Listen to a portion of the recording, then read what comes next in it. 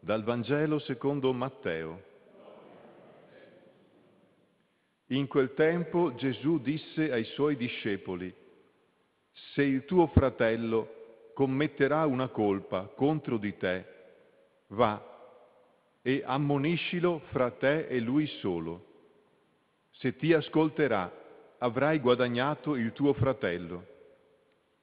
Se non ti ascolterà, prendi ancora con te una o due persone, perché ogni cosa sia risolta sulla parola di due o tre testimoni.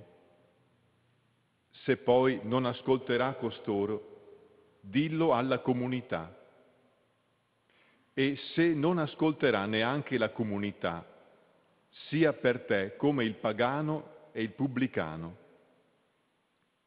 In verità io vi dico, tutto quello che legherete sulla terra sarà legato in cielo e tutto quello che scioglierete sulla terra sarà sciolto in cielo.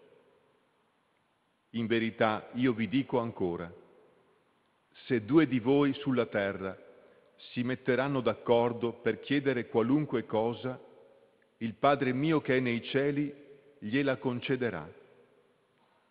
Perché dove sono due o tre riuniti nel mio nome, lì sono io in mezzo a loro. Parola del Signore. Alleluia, alleluia, alleluia, alleluia,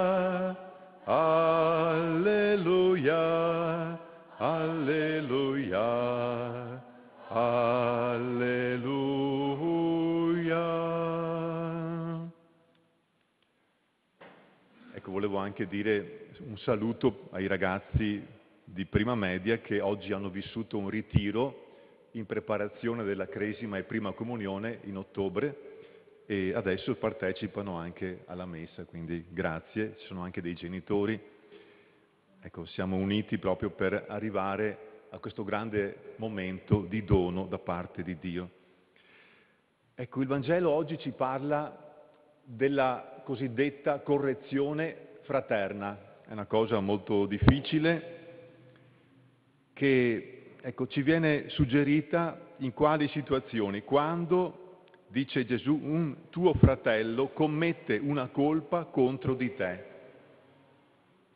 Quindi una situazione di quotidianità, perché succede, no?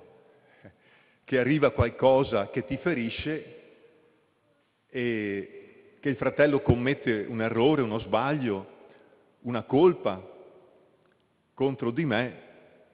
E allora cosa, come bisogna comportarsi? Ecco, Gesù ci, ci mette una scaletta dei passaggi che richiedono anche tanta, come dire, distacco da, dal mio io che vorrebbe a volte quando viene ferito, subito reagisce, esplode e cerca di sistemare le cose così di getto, di colpo, di istinto, no? Facendo danni proprio alla grande. Ecco, proviamo ad ascoltare i passaggi che Gesù ci insegna perché sono proprio di una grande sapienza e anche dicono che nel nostro cuore c'è amore verso la persona che ci ha ferito, perché comunque noi desideriamo, lo dice fra le righe, guadagnare il fratello, non perderlo, non star bene senza di lui. Noi desideriamo guadagnare il fratello, cioè che sia veramente all'interno della nostra famiglia che è la comunità. Questo è ciò che deve muovere il cuore in questa ricerca con vari passaggi. Allora il primo passaggio va e ammoniscilo fra te e lui solo. Cioè parla con lui, va vuol dire prendi iniziativa, esci, non aspettare che le cose capitino da sole. Va, interessati. Abbia cuore di questa cosa che rischia di deteriorarsi. Ecco, questo passaggio, io con la persona, è molto importante. Tante volte si salta questo passaggio perché si passa subito a parlare male della persona con altri, magari gli amici che mi capiscono, che mi danno ragione, no? Passo subito a parlare male, magari in buona fede, è perché mi confesso, dico il mio stato d'animo di sofferenza, no? E intanto parlo di una persona che non c'è. Questa è una devastazione.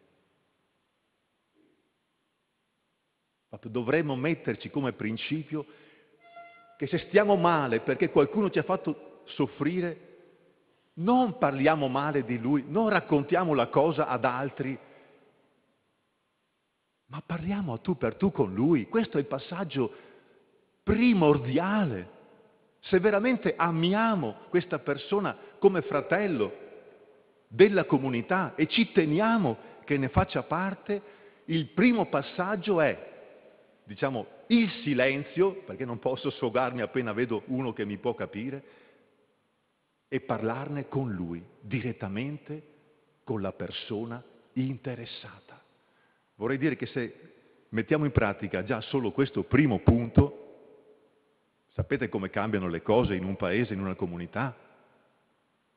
Basterebbe fermarsi qui.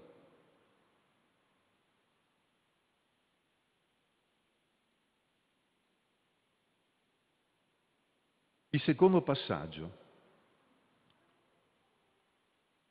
Se non ascolterà, prendi ancora con te una o due persone, perché ogni cosa sia risolta sulla parola di due o tre testimoni. Ecco, a volte ci può essere qualche persona che magari fa da mediazione no, fra me e lui perché ci, ci fatichiamo a comprenderci, no? Magari una persona che sta in mezzo può fare da ponte, da mediatore. Quindi anche questo passaggio è da tentare. Se poi non ascolterà costoro, dillo alla comunità, quindi la grande famiglia della comunità. È un passaggio, penso che non so se sia mai stato fatto un passaggio del genere, sono cose grandi eh, che ci dice qua Gesù. Però c'è anche questa, questa cosa, no? E poi dice, se non ascolterà neppure la comunità, sia per te come il pagano e il pubblicano. Ecco, qua sembra che Gesù abbia detto, ok, si arrangi. No, non dice questo, perché Gesù, se vi ricordate, in qualche altro passo del Vangelo dice che lui è venuto per i peccatori, non per i sani, per i malati, non per i giusti, no? Quindi alla fine no, vuol dire che io devo instaurare una modalità totalmente diversa, come Gesù. Come Gesù si comporta nei confronti di una persona che ancora deve incontrare la tenerezza di Dio.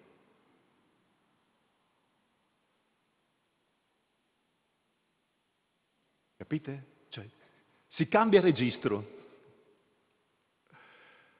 completamente, ma è ancora più impegnativo.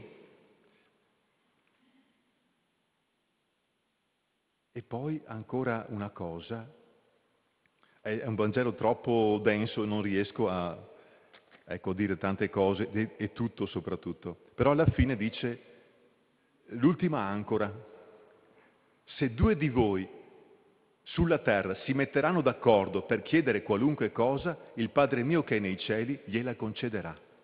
Ecco allora, se vuoi veramente bene e vuoi guadagnare quel fratello, prega insieme con qualcuno e chiedete insieme al Padre quella cosa lì. Abbiamo usato tutte le possibilità che c'erano, no? Uno, due, tre, quattro. Non siamo arrivati a niente? Chiedi aiuto a Dio con la preghiera.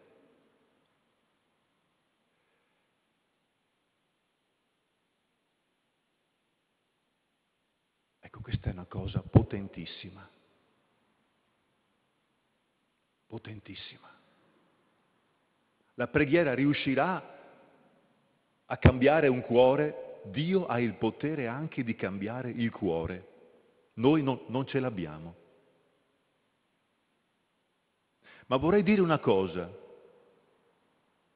che se una persona anche abbia, avesse tagliato completamente i ponti con la comunità, se però dentro la comunità ci fossero due o tre persone, una o due persone, anzi due o tre, almeno due, che nel cuore la desiderano, che nel cuore chiedono aiuto a Dio per riaverla. Questa preghiera è già un ponte che unisce quella persona alla comunità, ne fa parte. Anche se tutto sembra dire non ne fa parte, quella preghiera è testimonianza di fronte al cuore di Dio che noi sentiamo come fratello quella persona. È questo che conta. Non i muri, i recinti, i gruppi. È il cuore che unisce, che cerca, che si interessa, che desidera. Ecco, chiediamo questo. Lo scopo sia sempre guadagnare il fratello, non tagliarlo fuori, pensare di star bene senza.